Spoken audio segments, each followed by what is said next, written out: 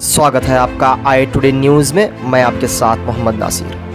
विजयपुर की पुलिस के साथ साथ बबलेश्वर सिंदगी भर्ती और सीईएन की टीम ने मिलकर पिछले दो दिन में चार गांजा फरोख्त जगह पर मारे हैं छापे, जिसमें साढ़े बाईस किलो गांजा जिसकी कीमत तकरीबन दो लाख रुपए है इन गांजा फरोख्तों को और उगाने वालों को किया है गिरफ़्तार।